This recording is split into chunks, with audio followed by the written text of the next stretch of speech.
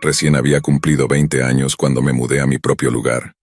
Por casi un año no hice más que trabajar y dormir, y mi cumpleaños número 21 casi pasa desapercibido sin que me diera cuenta. Afortunadamente, un amigo me envió un mensaje preguntando qué planes tenía y decidimos pasar esa noche en nuestro club favorito. Esa noche solo bebimos y jugamos billar. Unos chicos intentaron llevarnos a su casa, pero hice lo correcto y simplemente me fui a casa cuando mi amigo me dejó. Estaba en un estado bastante malo. Ya había vomitado una vez en el camino y estaba luchando como loca por no hacerlo de nuevo. Logré avanzar unos seis metros antes de sentir otra arcada subiendo por mi garganta, y por casualidad mi vecino estaba afuera fumando y corrió a ayudarme. Me sostuvo el cabello mientras vomitaba repetidamente durante los próximos minutos.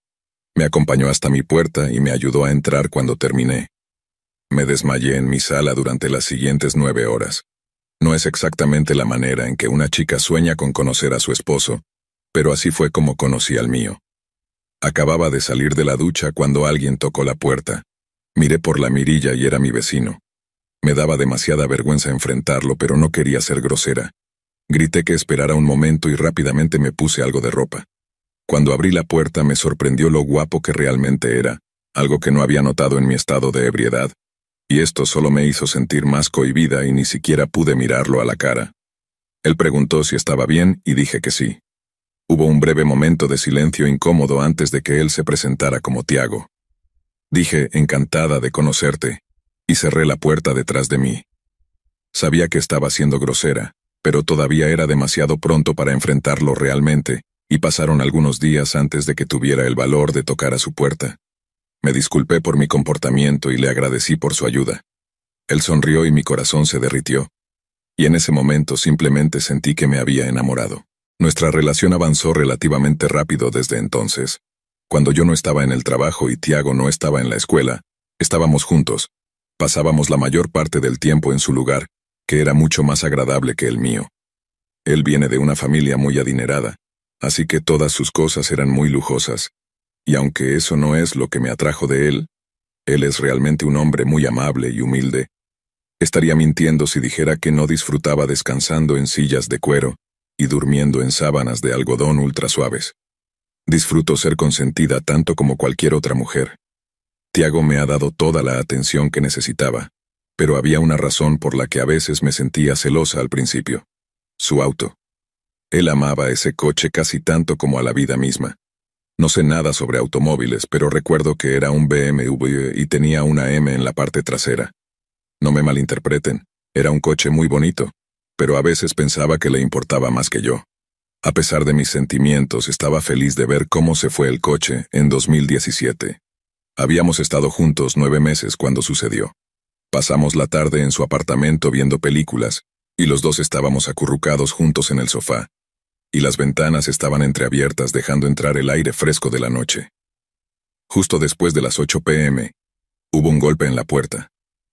Tiago se levantó para responder y yo fui a la cocina a buscar más vino.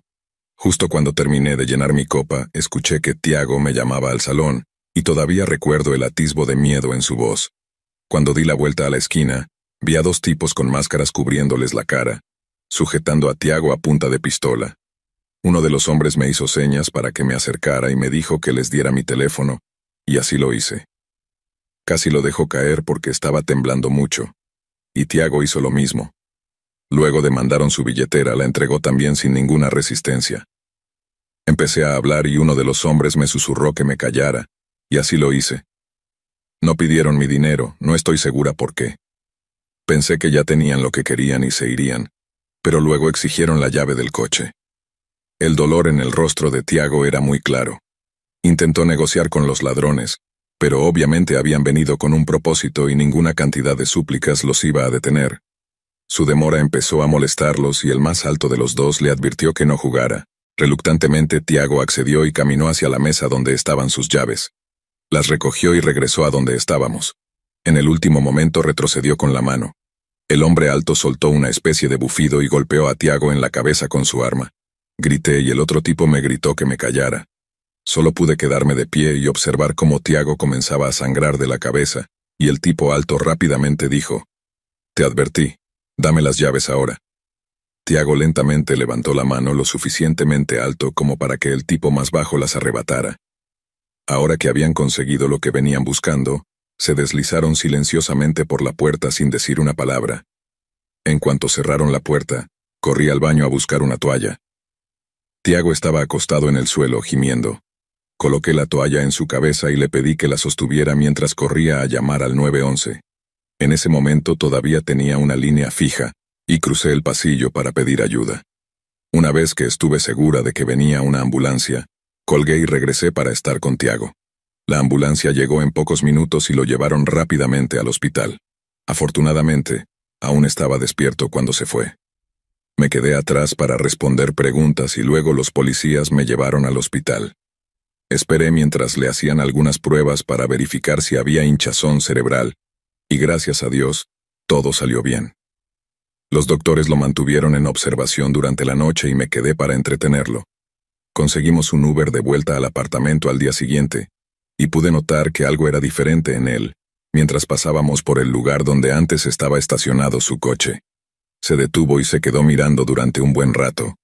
Se giró hacia mí y dijo, ¿en qué estaba pensando?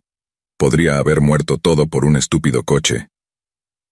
Los padres de Tiago le ofrecieron comprarle un nuevo BMW, pero él eligió un modelo mucho menos llamativo. El robo lo había asustado tanto que no quería volver a poseer algo así nunca más, e incluso dejó de usar su Rolex de oro que su madre le había comprado por su cumpleaños. Ahora que sabía que la gente estaba dispuesta a herirlo o quizás matarlo por cosas así, simplemente perdieron su encanto. Decidimos que era mejor tratar de dejar el robo atrás y seguir adelante. Aunque hoy en día ambos tenemos éxito y podemos permitirnos casi cualquier cosa, Vivimos una existencia muy humilde. Ese robo nos enseñó algo muy importante a ambos. Puedes tener todo el dinero del mundo, todos los coches de lujo y joyas, pero nada vale la pena perder tu vida.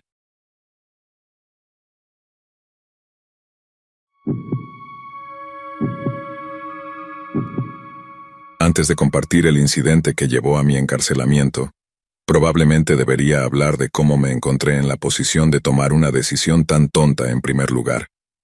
Realmente tuve una crianza ideal. Mis padres aún están casados. Se aman tanto como me aman a mí. Ambos tenían trabajos bien pagados y nunca nos faltó nada. Era hijo único, lo que podría haberme hecho un mimado, pero no se me permitía comportarme mal ni nada por el estilo. Nuestra casa estaba en una zona segura de la ciudad, llena de otras familias felices como la nuestra. Nunca me faltaron amigos ni oportunidades para estar rodeado de niños bien educados y respetables. Incluso cuando entré en la secundaria, no había señales de que estuviera a punto de tomar un mal camino. Eventualmente, tenía todas las ventajas con las que un niño podría soñar, sin embargo, todavía terminé en un camino muy destructivo, y eso solo demuestra que algunos de nosotros somos capaces de arruinar nuestras vidas por nuestra cuenta, y eso es seguro mi historia. El problema comenzó durante mi primer año de secundaria. No había nada sobre los stoners que me atrajera hacia ellos. Me encantaba su música, ropa y actitud. Todo sobre su estilo de vida me atraía. Pasaba tiempo con ellos, siempre que era posible, y parecían aceptarme desde el principio. Antes de que me diera cuenta, ya estaba en camino a convertirme en uno de ellos. Al final del primer año, ya fumaba cigarrillos habitualmente y consumía marihuana los fines de semana. Estaba sufriendo una transformación gradual, aunque todavía mantenía el comportamiento amable y educado con el que me habían criado. Había un creciente desasosiego bajo esa apariencia pulida. Estaba cansado de ser amable con todos a expensas de mis propios sentimientos. Era una situación de se acabó ser el chico bueno. Ya no daría la otra mejilla. Si mis padres notaron algún cambio en mí, no lo mencionaron. En sus ojos probablemente todavía era su pequeño niño. Incluso si hubieran dicho algo, probablemente no habría hecho ninguna diferencia, ya que es un camino que cada joven realmente debe navegar por su cuenta. Pero yo tomé un giro equivocado en algún punto del camino. A lo largo del resto de la escuela, mi actitud y mis calificaciones tomaron un giro significativo hacia abajo. Para entonces estaba demasiado intoxicado como para concentrarme en las clases, y hubo veces que realmente ni siquiera me molestaba en asistir. La mayor parte del tiempo nos reuníamos fuera de la escuela, y encontrábamos un lugar para pasar el tiempo lejos de los adultos curiosos y otros niños. Podría contar todas las aventuras que tuvimos y las cosas locas que presencié, pero eso tomaría todo el día. Basta decir que antes de mi tercer año ya había repetido un año y estaba a solo un mes de abandonar completamente la escuela, a pesar de las súplicas de mis padres. No había nada que pudieran hacer para detenerme. Por mucho que los amara, ya no tenían poder sobre mí y su pequeño niño estaba descendiendo muy profundo, y a menos que estuvieran preparados para encadenarme a algún radiador, iba a hacer lo que quisiera una vez que alcanzara la mayoría de edad legal. Ahí fue cuando comenzaron los problemas reales. Me mudé a un apartamento en ruinas con tres o cuatro otras personas que también estaban en esa espiral descendente. La gente iba y venía a todas horas del día y de la noche y, para ser honesto, no estoy seguro de a nombre de quién estaba el contrato de arrendamiento. De alguna manera, logré mantenerme sobrio lo suficiente como para obtener mi head y encontrar un trabajo lavando platos. El restaurante era algo así como una farmacia, si lo querías. Alguien podía conseguirlo. Una noche, mientras festejaba con algunos compañeros de trabajo, tomé la desafortunada decisión de probar la heroína, y resultó ser el mayor error de mi vida. En poco tiempo estaba adicto. Gastaba cheques de pago enteros en drogas y no me importaba.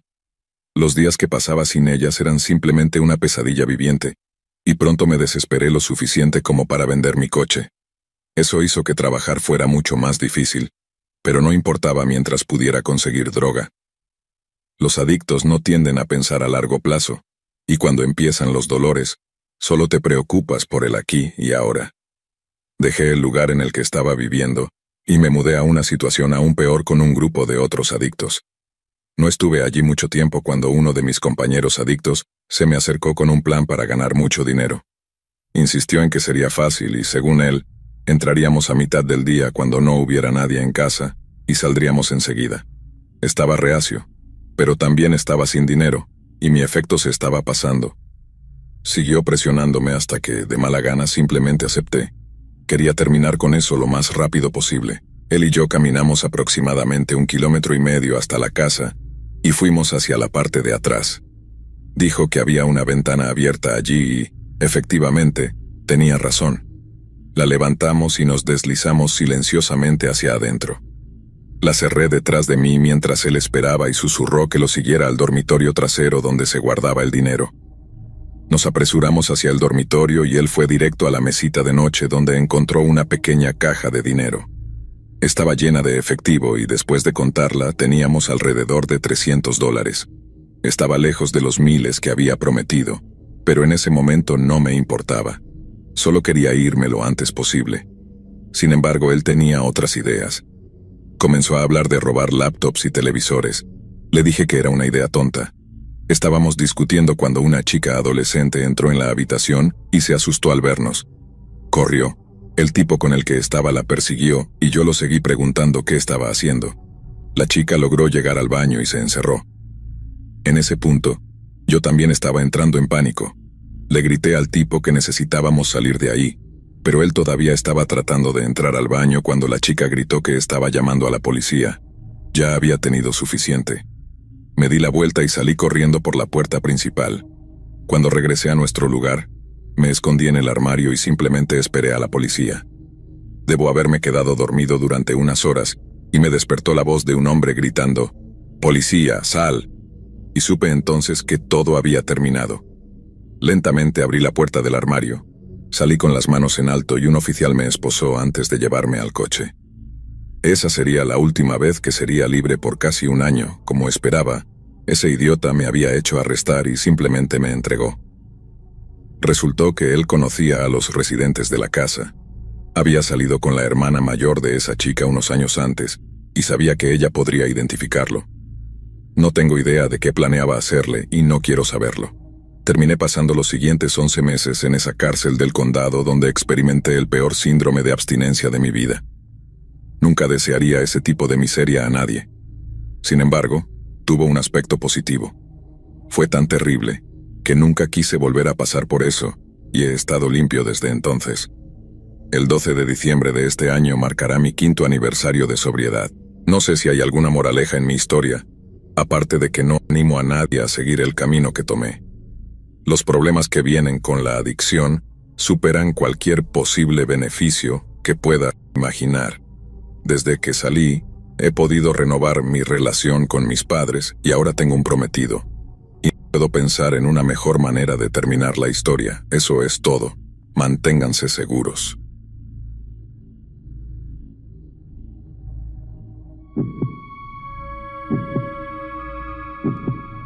Era la Navidad de 2015 y mis abuelos por parte de padre iban a volar para celebrar con nosotros. Acompañé a mis padres en el viaje al aeropuerto y durante todo el camino fantaseaba sobre qué recibiría en la mañana de Navidad. Los juguetes ya no me interesaban. Me habían prometido una bicicleta de montaña para mi cumpleaños, pero nunca llegó. Quizás estas fiestas serían mi oportunidad.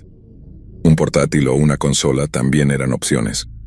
Ese año tenía 14 y las cosas en mi vida empezaban a cambiar. Para ser honesto, ya no estaba seguro de nada.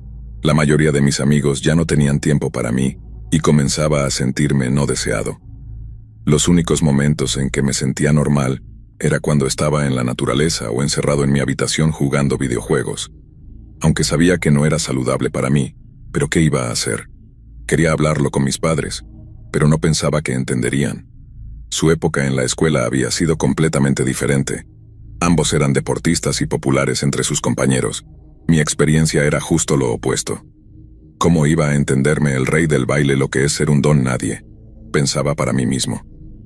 Mis abuelos ya estaban esperando en la acera cuando llegamos. Papá y yo ayudamos a cargar sus maletas en el coche. Buscaba cualquier objeto extraño o de forma rara, pero nada resaltaba. El viaje de regreso fue muy parecido al de ida perdido en mis pensamientos la mayor parte del tiempo, solo ocasionalmente interrumpido por alguna pregunta de mis abuelos. Los interminables campos abiertos eran un cambio bienvenido. Intentaba identificar los pájaros que pasaban volando y los árboles que bordeaban las cercas. Esas eran las pocas cosas en la vida que nunca cambiaban, o eso pensaba.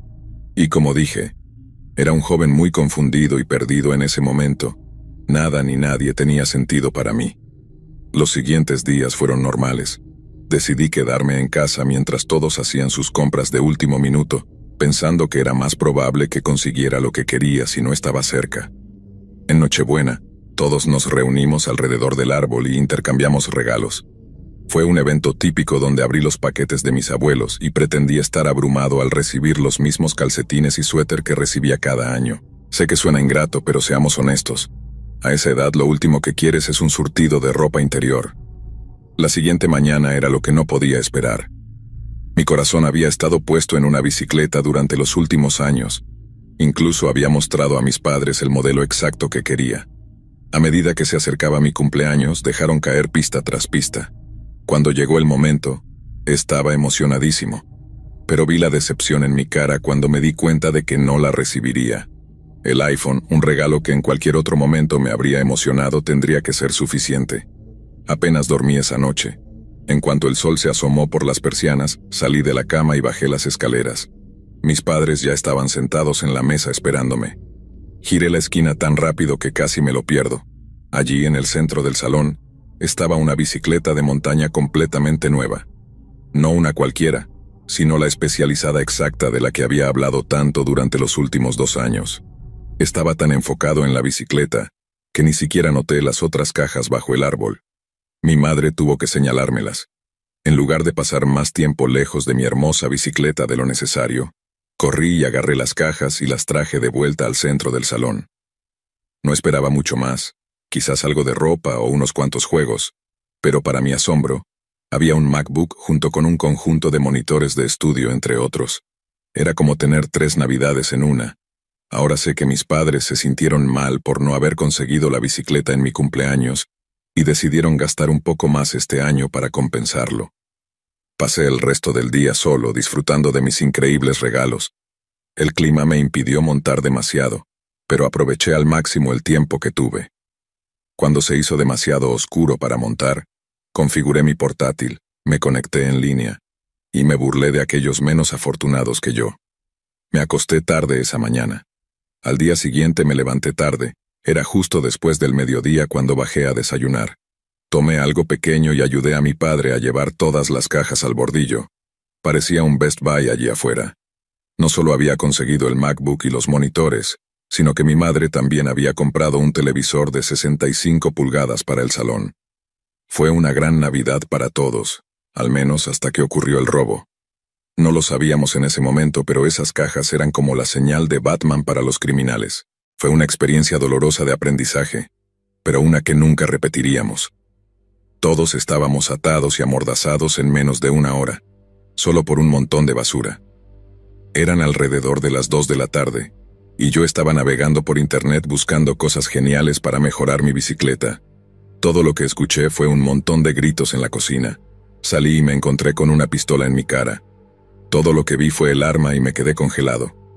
El tipo me gritó que me moviera, pero estaba demasiado asustado para hacerlo. Me agarró del brazo y me empujó hacia el salón. Todos los demás ya estaban agrupados, esperando que les dijeran qué hacer. Estoy orgulloso de lo tranquilo que estuvo mi padre. Nos mantuvo a todos en calma y prometió a los ladrones que haríamos lo que nos dijeran, que eran libres de llevarse lo que quisieran y que no nos resistiríamos. Supongo que no iban a correr el riesgo, sin embargo, cuando un tipo nos apuntó con una pistola, otros dos nos ataron las manos y nos vendaron los ojos con cinta adhesiva. Cuando terminaron, una voz me dijo que me acostara boca abajo. No me dio la oportunidad de hacerlo por mí mismo. Me empujaron y caí hacia adelante. La caída me quitó el aliento por un minuto y la cinta adhesiva alrededor de mi boca me dificultó recuperar el aliento. Unos segundos después, escuché la misma voz decir vamos, y el ruido de múltiples pasos sacudió el suelo. Estaba demasiado aterrorizado para decir algo. Simplemente me quedé allí y recé porque pasara rápido. El sonido de la puerta del garaje abriéndose captó mi atención. Eso fue seguido por el ruido de lo que supongo era algún camión grande, el golpeteo del motor diésel era muy distintivo, y los siguientes minutos fueron solo el sonido de pies corriendo por la casa y hacia el garaje. Ninguno de los hombres habló, hasta donde pude decir. Probablemente no pasaron más de diez minutos antes de que escuchara cerrar la puerta hacia el garaje y luego, silencio completo. Tal vez pasó un minuto y mi padre preguntó si todos estaban bien. Esperé una voz que le dijera que se callara, pero nunca sucedió. Me sentí lo suficientemente seguro como para comenzar a luchar con la cinta alrededor de mi muñeca. Torcí y tiré tan fuerte como pude hasta que la cinta se rompió. Papá ya estaba libre y desatando las manos de mi abuelo cuando me quité la cinta de los ojos, y mientras papá terminaba de soltar a todos, corrí a mi habitación, y se confirmó mi peor miedo. No solo se habían llevado mi Mac y los altavoces nuevos, sino que también se había ido mi bicicleta. Sentí como un puñal en el estómago. Cuando regresé al salón, papá estaba al teléfono con el 911.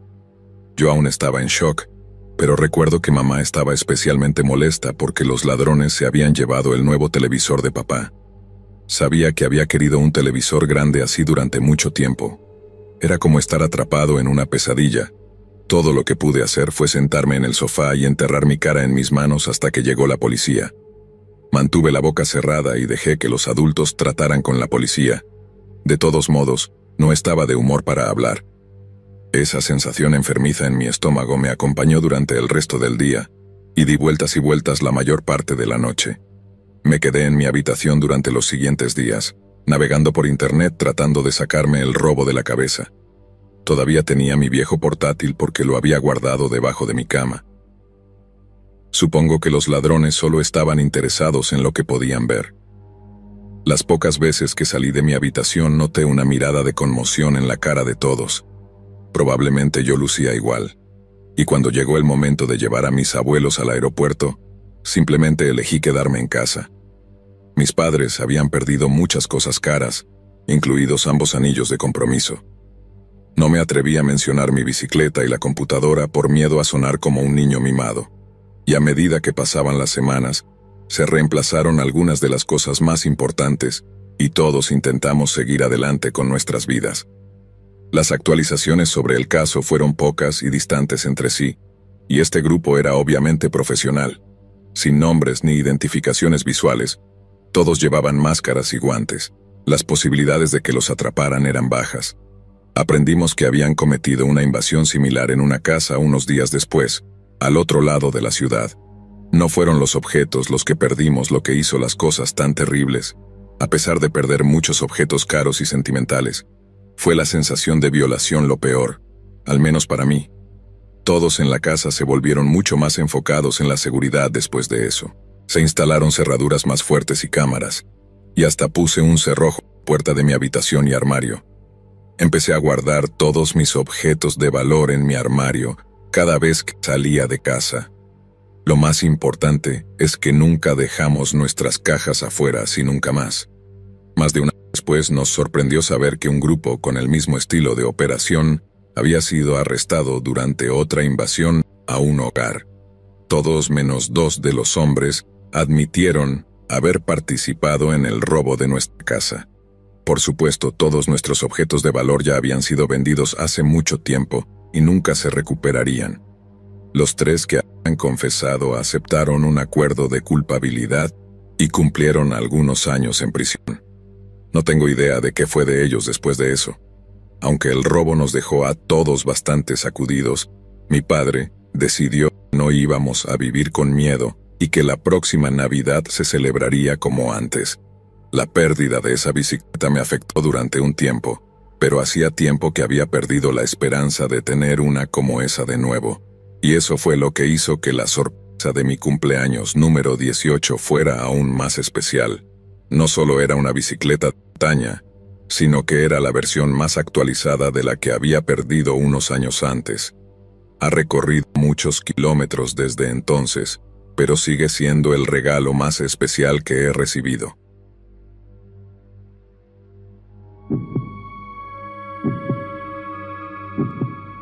Me mudé al vecindario unas semanas antes de que comenzara el año escolar 2015. El anuncio al que respondí daba poca más información que los datos básicos sobre la casa, una residencia de mediados de siglo con tres dormitorios cerca de la escuela secundaria. Como iba a trabajar en la escuela parecía perfecto. Después de echar un vistazo rápido pagué el depósito y el primer mes de alquiler. La mudanza no tomó más de un día. Mi primer día completo allí fue un sábado soleado y fresco, y justo cuando me sentaba a almorzar esa tarde, escuché un golpe en la puerta. Fue una sorpresa, realmente no esperaba a nadie, y al abrir la puerta, me recibió un pequeño grupo de personas mayores con sonrisas brillantes y algunos sosteniendo platos cubiertos en sus manos. Debí parecer poco acogedor, pero estaba tan sorprendido que no estaba seguro de qué decir. Pasó un momento antes de que un hombre muy alto y delgado, con cabello canoso y voz profunda, se adelantara y se presentara. Dijo que su nombre era Ramón y que todos estaban allí para darme la bienvenida al vecindario. No se me ocurrió otra cosa que simplemente invitarlos a pasar. Nos agrupamos todos juntos en la sala de estar.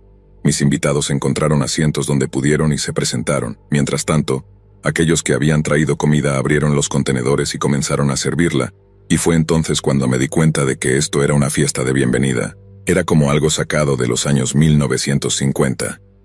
Este grupo de personas, muchas de las cuales probablemente crecieron en esa época, me daban la bienvenida al vecindario con los brazos abiertos. Estaba presenciando un aspecto de América que pensé que había muerto hace mucho tiempo, si es que alguna vez realmente existió. Y antes de que tuviera la oportunidad de asimilar mi entorno, estaba sentado en una habitación llena de completos desconocidos, cerveza en mano, contándoles mi historia de vida. Fue una experiencia diferente a todo lo que había vivido y me encantó cada minuto de ella. Así comenzó todo para mí, y así conocí a mi especie de nueva familia. Desde ese día en adelante, dediqué tanto tiempo como pude a conocer a todos. No todos fueron tan acogedores como el resto. Había algunos viejos gruñones que no me querían por alguna razón, pero en su mayoría se mantenían por su cuenta. Supongo que se podría decir que acordamos estar en desacuerdo. Sin embargo, la abrumadora mayoría había sido la gente más amable y servicial que había conocido. Siendo joven e inexperto como era, especialmente en aquel entonces, me encontré buscando consejos de mis vecinos mayores probablemente más a menudo de lo que me gustaría admitir. Ni una sola vez me trataron como al chico ingenuo que a menudo me consideraba. Descubrí que, a pesar de que la mayoría de estas damas y caballeros eran gente de negocios y educadores de cuello blanco, todavía sabían lo que se necesitaba para mantener un hogar, y en retrospectiva, Debería haber sido obvio considerando que la mayoría había vivido en esas casas la mayor parte de sus vidas adultas. Rápidamente aprendí cuán poco me había preparado la universidad para mi futuro, y solo ahora había comenzado mi verdadera educación. Durante mi tiempo viviendo aquí, me he acercado mucho a muchos de estos vecinos, pero una pareja en particular es como mi segundo conjunto de padres.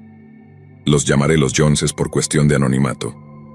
Cuando Melissa y Eduardo descubrieron que yo era maestro, me acogieron inmediatamente bajo su ala. Ambos se habían jubilado recientemente de la universidad. Los dos se habían conocido al principio de sus carreras como profesores y gradualmente se enamoraron. Eduardo y yo también compartíamos una obsesión por la historia medieval, una obsesión que a menudo llevaba a discusiones nocturnas sobre nuestras opiniones personales sobre este o aquel evento. Melissa tampoco se quedaba atrás. Su trabajo en matemáticas y física le había valido varios premios, y además muchos de los libros de texto de física que utilizaba su empleador habían sido escritos por ella. Disfrutando de la compañía del otro como lo hacíamos, eventualmente comenzamos a encontrarnos todos los domingos para un brunch para disfrutar de una buena comida y discutir los temas que se nos ocurrieran. Fue en uno de estos domingos cuando ocurrió la siguiente historia. Era alrededor de las diez y media a.m. de esa mañana cuando salí de la casa y me dirigí a casa de Melissa y Eduardo. En el camino me encontré con otro vecino, Tom Valentine. Tom había sido un hombre de negocios y emprendedor de toda la vida, hasta que vendió su última compañía y se retiró. Hablamos sobre jardinería y cuidado del césped durante unos 15 minutos hasta que continué mi camino. Estaba quizás a 45 metros de casa de Melissa y Eduardo, cuando vi una furgoneta negra retroceder en su entrada y cuatro hombres bajarse. Pensé que posiblemente estaban entregando algo, hasta que vi cómo se ponían máscaras sobre sus caras y corrían hacia la puerta. No estaba seguro de qué estaba sucediendo, pero me pareció prudente simplemente contactar a la policía de todos modos. Corrí de regreso a casa de Tom y le conté lo que acababa de ver, y él llamó al 911 de inmediato. Esperamos que llegara la policía, pareció una eternidad, pero probablemente no fue mucho tiempo. Tom, su esposa y yo observamos la casa de los Jones mientras llegaban los policías y la rodeaban. Los oficiales acababan de rodear la esquina cuando empezamos a escuchar gritos. Me preparé para algún tiroteo que estaba seguro que iba a ocurrir, pero afortunadamente estos criminales se rindieron sin luchar, y uno por uno los hombres fueron llevados esposados a los coches de policía. Ninguno de nosotros se relajó aún, Todavía no teníamos idea de si Melissa y Eduardo estaban bien.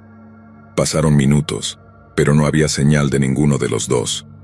Cuando llegó una ambulancia, arrojé la precaución al viento y corrí hacia la casa.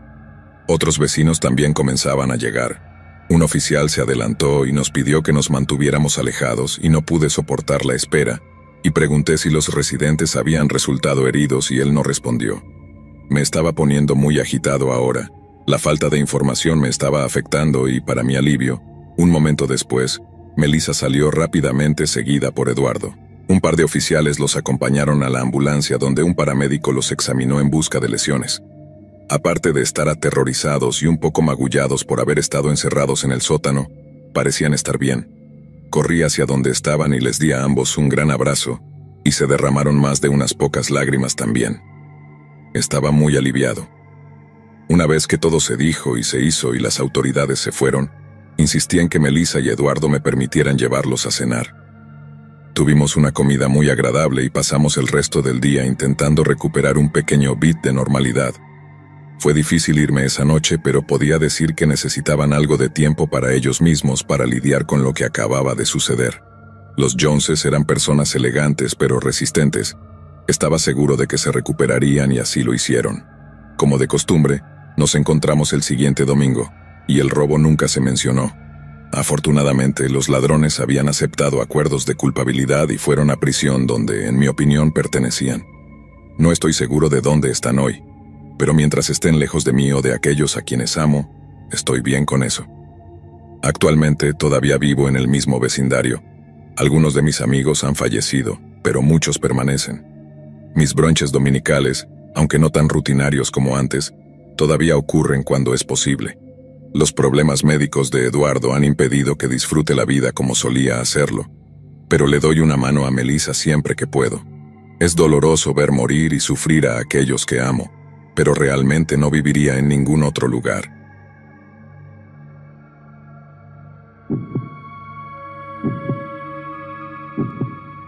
Cuando tenía 23 años conseguí un trabajo en una gasolinera cerca de mi apartamento. Había un chico de mi edad que solía pasar siempre a comprar cosas como cerveza y periódicos. Hablábamos sobre nuestros intereses comunes y pronto descubrimos que teníamos mucho en común.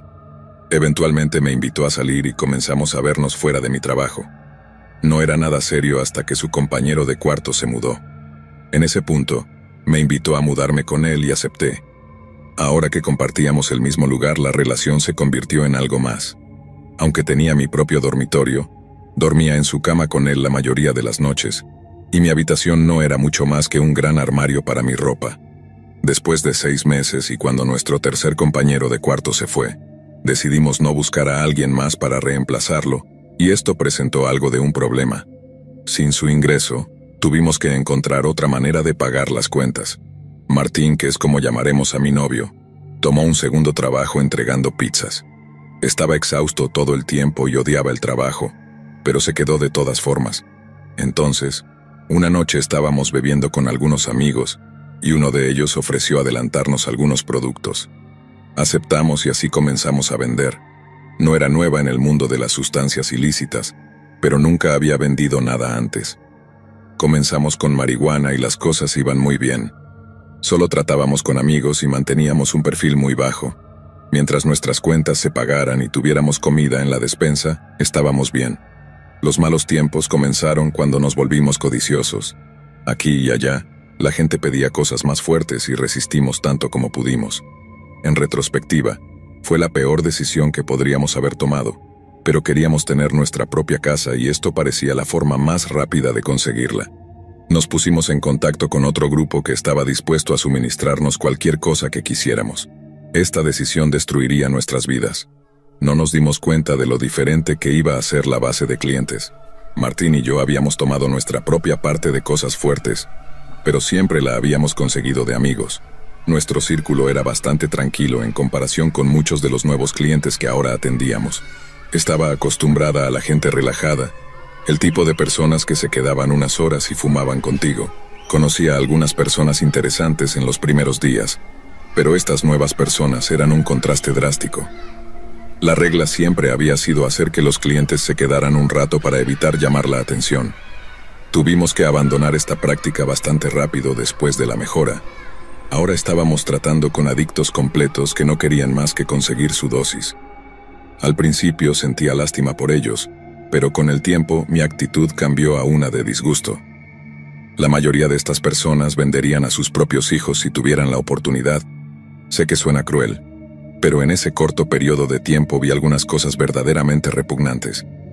Si hubiera sabido lo que se avecinaba, habría tenido miedo, pero aún no había conocido lo peor que la humanidad tenía para ofrecer. Habíamos estado vendiendo marihuana a un joven llamado Sean durante el último año. No era particularmente hablador, pero siempre había parecido lo suficientemente bueno. Cuando expandimos la operación, comenzó a venir mucho más a menudo y a hacer preguntas. Mirando hacia atrás, debería haber sabido que algo estaba pasando, pero no lo hice. Una noche de sábado tarde, llamó a Martín y preguntó si podía pasar a recoger una onza para él y un amigo. Martín tenía gripe y traté de hacer que dijera que no, pero me aseguró que solo sería una recogida rápida. Prometió que volvería a la cama después, así que a regañadientes acepté. Unos 30 minutos más tarde Sean llegó, tomó sus cosas y se fue. Parecía algo nervioso, pero ni Martín ni yo le prestamos atención. Estuvo dentro y fuera en unos minutos y Martín estaba en la cocina cuando se escuchó un golpe en la puerta. No esperábamos a nadie, pero fui a la puerta para verificar. Miré por la mirilla y vi a Sean. Supuse que había olvidado algo y abrí la puerta. No había pronunciado ni una palabra cuando él me empujó y me tiró al suelo. Un segundo hombre entró corriendo detrás de él. No pude hacer más que gritarle a Martín. No estoy seguro de qué pasó después de caer, pero el sonido de disparos llenó el apartamento casi de inmediato. Todo lo que pude ver desde mi posición era al segundo hombre sosteniendo una pistola y disparando en dirección a la cocina. Tropecé para levantarme y corrí fuera del apartamento. Los disparos aún continuaban cuando salí y mis oídos estaban zumbando. Teníamos un vecino a unas unidades más allá con el que a veces salíamos. Corrí hacia su lugar y golpeé la puerta. Pareció una eternidad hasta que abrió. Me vio e inmediatamente me dejó entrar. Supongo que escuchó lo que estaba pasando porque estaba al teléfono con el 911 cuando llegué. Me dijo que la policía estaba en camino y corrí de vuelta al apartamento para ver si Martín estaba bien. La puerta todavía estaba abierta cuando llegué allí. Estaba aterrorizada, Sean y sus amigos todavía estaban allí, pero llamé a Martín de todos modos. Él no respondió y un sentimiento de náusea se agitó en el fondo de mi estómago. Avancé cuidadosa y lentamente hacia el apartamento, llamando a Martín mientras avanzaba. Cuando doblé la esquina hacia la cocina, lo vi recostado contra uno de los gabinetes. Estaba sangrando mucho y no podía decir si estaba vivo. La pistola todavía estaba firmemente agarrada en su mano, y de repente recordé el producto. Necesitaba deshacerme de él antes de que llegara la policía. Corrí hacia nuestro escondite y lo encontré vacío. Sean, más que probablemente, había planeado esto hace mucho tiempo y había elegido esa noche para actuar. En realidad, me alivió que se hubiera ido. Para ser honesto, la basura había sido una fuente de fricción y miseria en nuestras vidas durante mucho tiempo, y ahora era su problema. Una pesadilla de vida que no le desearía a mi peor enemigo. Volví a la cocina y me senté junto al cuerpo de Martín en el suelo. A pesar de todo su arduo trabajo, los paramédicos no pudieron revivirlo. Lo enterré unos días después y he tratado de seguir adelante solo desde entonces. Sean recibiría su castigo, aunque no de la manera que esperaba. Nunca pude identificar al segundo hombre. La policía buscó a Sean durante unos meses hasta que apareció después de haber sido asesinado mientras intentaba robar a otro traficante. Desearía poder decir que fue un final satisfactorio, pero ya estaba harto de tanto matar. Cuando me metí en todo esto, no vi ningún problema en vender un poco de marihuana a algunos amigos. Después de todo, no era crack, pero antes de que me diera cuenta, era un traficante a tiempo completo no mejor que un matón callejero común, y muy probablemente ayudé en la muerte de alguien al menos una vez. Estaba explotando a personas y destruyendo vidas solo para ganar dinero. Siete años después, todavía no puedo evitar sentir que me lo merecía. La búsqueda de una manera rápida y fácil de avanzar me costó al hombre que amaba y me dejó caminando durante los siguientes años confundida y llena de culpa. No sé si hay una moraleja en esta historia, Tal vez todos podríamos tratarnos mejor e intentar llevarnos bien. ¿Es realmente tan difícil?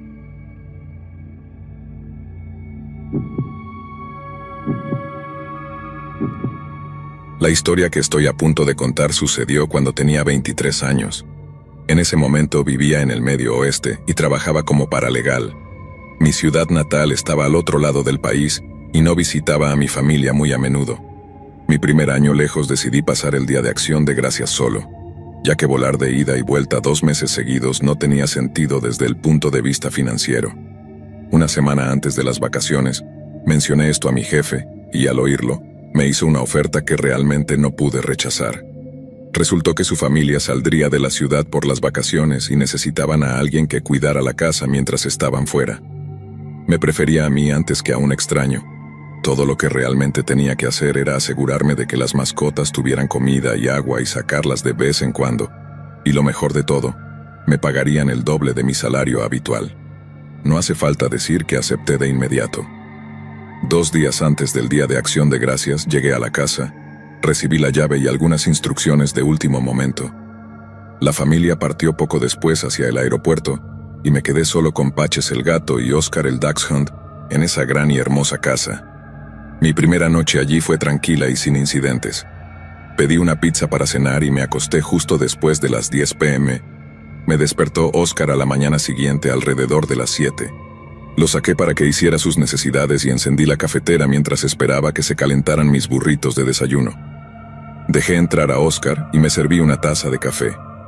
Oscar me miraba intensamente mientras disfrutaba de mi comida y veía las noticias matutinas. Después del desayuno sentí el impulso de llevar a Oscar a pasear por el vecindario. Había escuchado que había un parque natural cerca y tenía curiosidad por verlo. Supuse que a Oscar también le encantarían todos los nuevos olores. Caminamos por allí durante una hora y luego regresamos a casa para comenzar a preparar la cena. Solo porque iba a pasar las vacaciones, solo no significaba que no iba a comer bien. Puse mi pollo precocido en el horno para recalentar y comencé a trabajar en los acompañamientos. Quizás había pasado una hora cuando comencé a escuchar un ruido en la puerta principal. Iba a ignorarlo, pero Oscar empezó a gruñir. Apagué la cocina y seguí el ruido. Oscar corrió delante de mí y pronto comenzó a ladrar. Parecía muy alterado y me detuve al borde del pasillo y asomé la cabeza por la esquina hacia la puerta. Desde donde estaba podía ver una forma humanoide a través del vidrio de la puerta. Parecía que estaban intentando abrir la puerta. Oscar ahora estaba perdiendo la cabeza y yo estaba paralizada. No tenía idea de qué hacer hasta que la puerta se abrió. Oscar luchaba por llegar a la persona a través del estrecho espacio en la puerta y la persona lo estaba pateando. Sabía que si iba a hacer algo, tenía que ser ahora, así que corrí de vuelta a la cocina donde estaba mi teléfono y marqué el 911. Todavía podía escuchar al hombre gritándole a Oscar en la puerta. Ese pequeño luchaba con todo su corazón, bendito sea. El operador acababa de decirme que la policía estaba en camino cuando levanté la vista y me encontré cara a cara con un hombre muy alto y delgado. Creo que no esperaba encontrarme allí. Sus ojos y su boca se abrieron de par en par y el miedo me invadió y comencé a gritarle que se fuera. No pasó mucho tiempo antes de que se diera la vuelta y huyera por la puerta.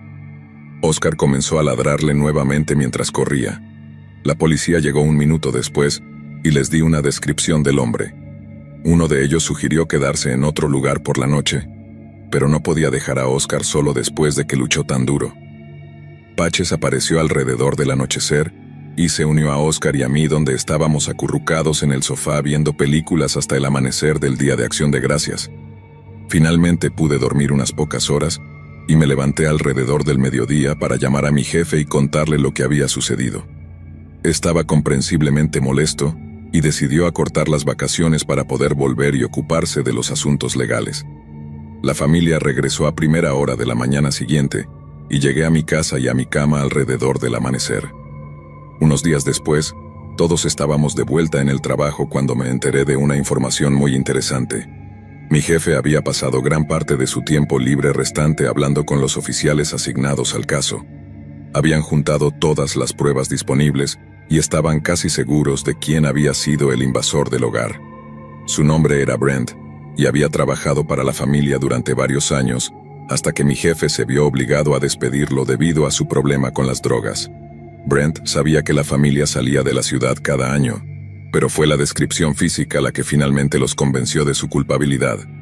No pasó mucho tiempo antes de que la policía lo atrapara, y él aceptó un trato por una sentencia reducida. Estaba de vuelta en casa con su familia para la próxima Navidad. No estoy molesta de que se haya librado tan fácilmente. Después de todo, no fue violento. Fue su adicción a las drogas la que lo llevó a tomar una decisión tan estúpida, y solo espero que ahora haya recibido la ayuda que necesitaba y no esté sufriendo como antes. Desde entonces, me he casado y he pasado a otro trabajo en una nueva ciudad. He madurado, y probablemente no sugeriría a ninguna joven que haga algo así por sí sola, especialmente con cómo están las cosas ahora. Si tuviera que hacerlo todo de nuevo, simplemente habría gastado el dinero y volado a casa para estar con mi familia. En retrospectiva, el dinero no compensó no poder estar allí con mis padres en una fecha tan importante.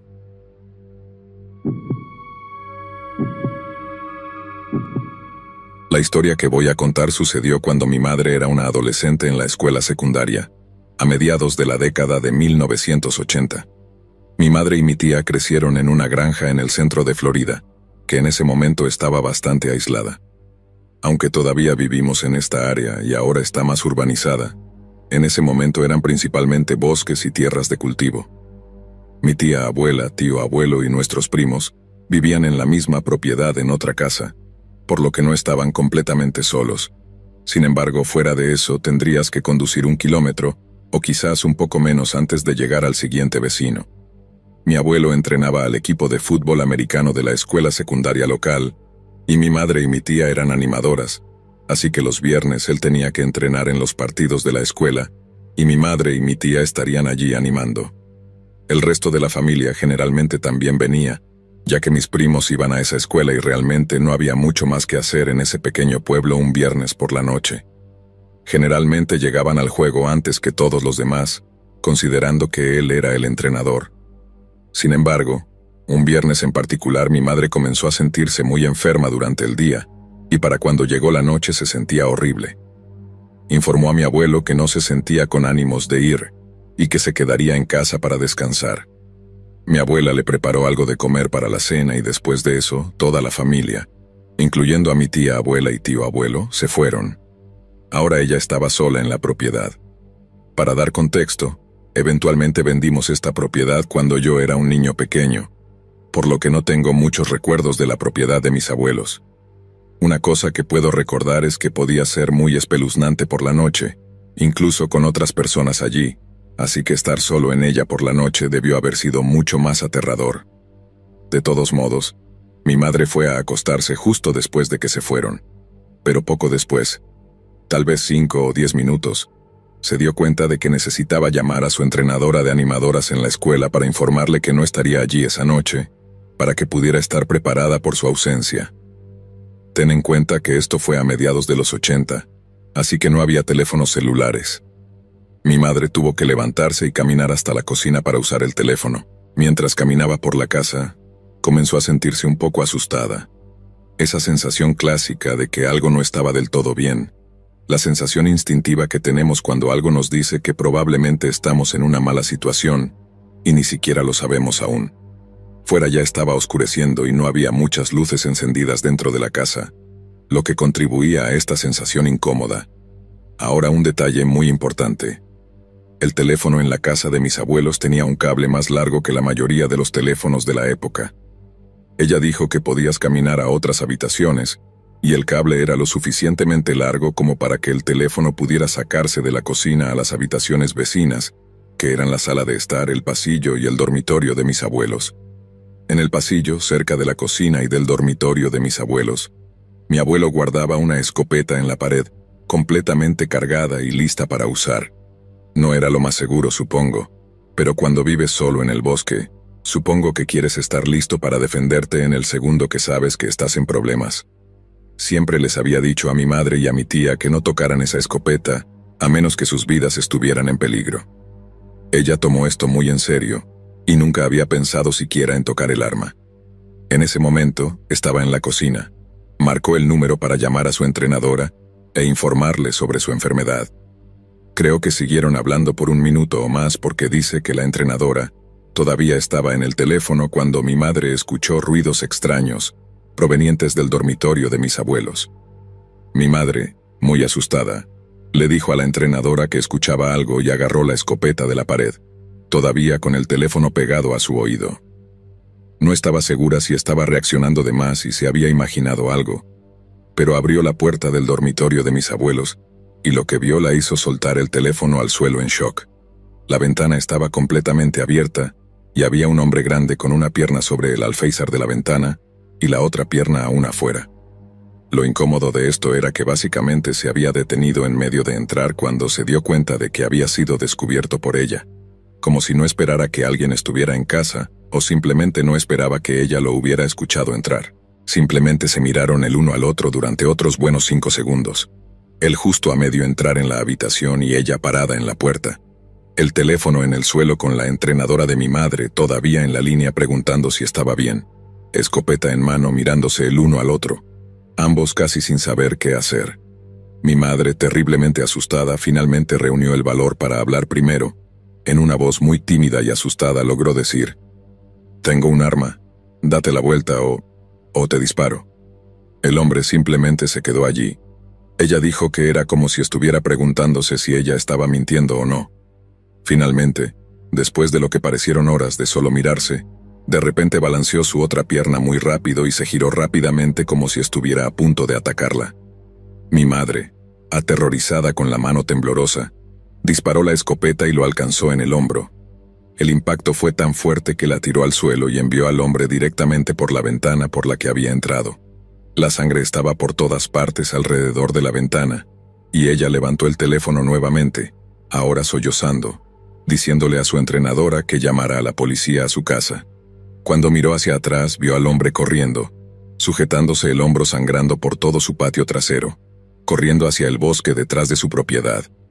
Ten en cuenta que acababa de recibir un disparo en el hombro con una escopeta, no era como si fuera una pistola o algo así. Este tipo básicamente se había levantado de inmediato como si no fuera nada, y había comenzado a correr hacia el bosque. No sé el orden exacto de lo que sucedió después, pero la policía finalmente llegó. Mis abuelos regresaron a casa poco después, y la policía todavía estaba allí. Creo que la parte más extraña de la historia es que había un rastro de sangre que el tipo había dejado mientras huía de la propiedad, que se adentraba en el bosque. La policía investigó y encontró que continuaba por cierta distancia en el bosque y eventualmente se detenía. No había cuerpo ni nada. La sangre simplemente se detenía y nunca atraparon al tipo. Creo que es extraño porque ella le había disparado en el torso superior con una escopeta y alrededor de la ventana en la habitación parecía la escena de una película de terror. Había tanto sangre. Cómo se escapó aparentemente vivo y tan rápidamente sin que la policía lo atrapara es muy extraño.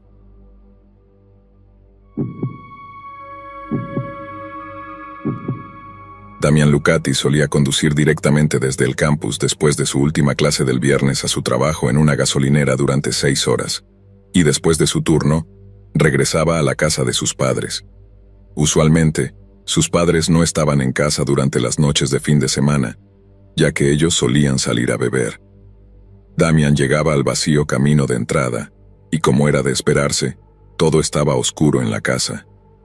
Necesitaba poner su bicicleta, que aún estaba en el maletero de su camioneta, de vuelta en el cobertizo del patio trasero, así que sacó la bicicleta del maletero de su camioneta y la llevó por el pavimento, pasándola cerca hasta el cobertizo. Al cerrar la puerta del cobertizo, notó que la luz del baño en el piso superior de la casa estaba encendida. No recordaba haber visto la luz del baño encendida cuando pasó por el lado de la casa, así que asumió que tal vez uno de sus padres se había quedado en casa esa noche. Damián entró a la casa por la puerta trasera, y justo cuando iba a llamar a uno de sus padres, algo en su interior le dijo que no lo hiciera. Subió la media planta de escaleras desde su sala hasta la sección media de la casa, miró hacia arriba por la corta escalera al piso superior, y vio luz filtrándose en el pasillo a través de la puerta cerrada del baño. Alguien estaba allí. Subió las escaleras llamando mamá, papá, pero no hubo respuesta lo cual era extraño considerando lo cerca que estaba del baño. Se acercó a la puerta del baño volviendo a llamar, pero sin obtener respuesta. Supuso que quizás su madre estaba en la bañera con audífonos puestos o algo por el estilo. La puerta estaba cerrada con llave, así que alguien tenía que estar allí. Cuando sonó el teléfono, bajó a contestar y descubrió que era su padre, quien llamaba para asegurarse de que Damian había llegado bien a casa. Su padre sonaba ebrio, como de costumbre los viernes por la noche, por lo que Damian le preguntó por qué había dejado a mamá en casa. Su padre pareció confundido. Entonces, Damian notó en el fondo de la puerta, a través de la abertura, las sombras de los pies de alguien parado junto a la puerta, literalmente enfrentando la puerta justo encima de ella. Luego, el padre de Damian soltó una bomba y le dijo que su madre estaba a su lado en la mesa. Damian hizo lo único lógico que pudo. Corrió afuera, colgó a su padre y llamó a la policía. Cuando miró hacia la ventana del baño, vio que la luz se apagaba. Diez minutos de esconderse en los arbustos después, escuchó a la policía al frente, quienes al final no encontraron a nadie en la casa.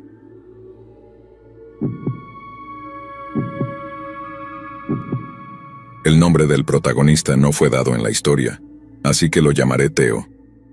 Teo tenía 16 años y vivía con su padre y su hermano en su aislada granja. La casa era relativamente pequeña, con un primer piso y un sótano. Sin embargo, era una propiedad enorme con un granero y árboles en todas direcciones, proporcionando privacidad óptima. Había un largo camino de entrada que se extendía desde el camino lateral hasta la propiedad, el cual Teo estaba recorriendo en ese momento, regresando de la casa de un amigo en su bicicleta. Teo entró en el granero, donde la familia guardaba todas las bicicletas, y luego se dirigió a la puerta principal de la casa. Sin embargo, en su camino, notó que las puertas del sótano estaban abiertas de par en par. Al no ver ningún coche en el camino de entrada, Teo asumió que fue su hermano menor quien, por alguna razón, las dejó abiertas. Cerrando las puertas y bajando al sótano, Teo se dio cuenta rápidamente de que ninguna de las luces del sótano estaba encendida. Llamó a su hermano menor, Francisco, quien respondió desde arriba. Francisco bajó corriendo las escaleras, encendiendo la luz en el camino. Lo primero que Francisco señaló fue el fétido olor en el sótano, pero Teo dijo que no notaba nada. Teo cuestionó a Francisco sobre por qué había abierto las puertas del sótano y luego las había dejado así. Su respuesta fue que no lo había hecho. Teo continuamente lo acusó de mentir o de olvidar, pero Francisco juró que no había estado en el sótano toda la noche. El inquietante pensamiento de que había sido dejado sin llave y alguien había entrado en la casa surgió, y los dos posteriormente revolvieron el sótano en busca de alguien sin encontrar a nadie. Francisco dijo que había estado en la sala toda la noche y no había oído nada, además habría notado si alguien hubiera subido. Así que Teo se sintió tranquilo sabiendo que no había nadie en la casa. Se sentó en el sofá del sótano y comenzó a ver televisión. Fue entonces cuando notó que el sofá se sentía un poco raro, menos suave de lo usual. Se levantó y levantó uno de los cojines y gritó. Teo corrió escaleras arriba, encontrándose con Francisco a mitad de camino, empujándolo el resto del camino y cerrando la puerta del sótano detrás de él. Cuando Teo pudo finalmente sacar algunas palabras, le dijo a Francisco que había encontrado un cadáver debajo de los cojines del sofá del sótano. El cuerpo fue identificado más tarde como el de su vecino más cercano, Jorge, cuya esposa también había desaparecido unos días antes. Hasta donde Teo y su familia sabían en el momento de publicar esta historia, el culpable nunca fue encontrado.